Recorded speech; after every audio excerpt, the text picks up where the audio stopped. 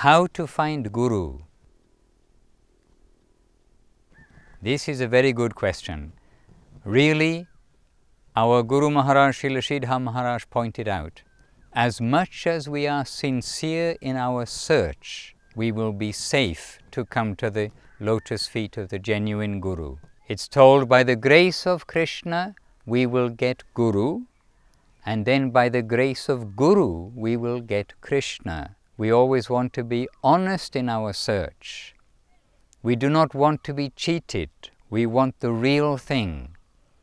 And the real thing, we have to have some sacrifice. We have to have some ideal which will require us to assert in order to accept that, in order to find that.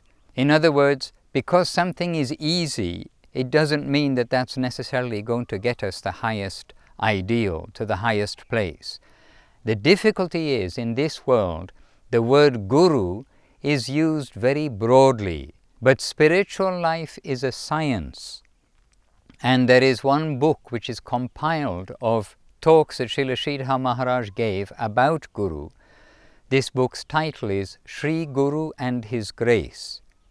And this is available in book form. It is available for free download of the internet, of scsmat.com and other places too. For the sincere seeker, this book will be very helpful. It is Srila Sridhar Maharaj's own words expressing how we will understand and recognize Guru, what will be his qualifications, and what will be our qualifications as sincere seekers, as prospective disciples, as students,